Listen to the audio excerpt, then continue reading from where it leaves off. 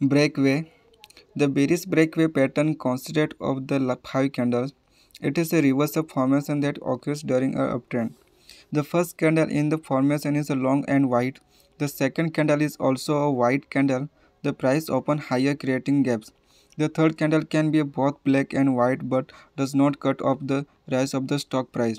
The fourth candle continues in the direction of the preceding trend. The fifth candlestick has a long black body, change the direction of the trend and continue in the direction to close the gap. How to recognize? The breakaway candlestick pattern is a 5-bar reversal candlestick pattern. It can be bullish or bearish. The first candle must be a long candle. The next three candles must be sniping tools. The second candle must also create a gap between the first and itself. The fifth candle must be a long candle closing within the body gap of the first two candles. How to trade? The key to trading this pattern is to look for a break of the low of the candle. The signal that the market is ready to move lower.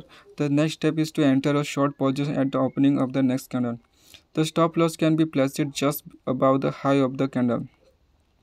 This is a great pattern for traders who are looking for quick and easy way to trade the market.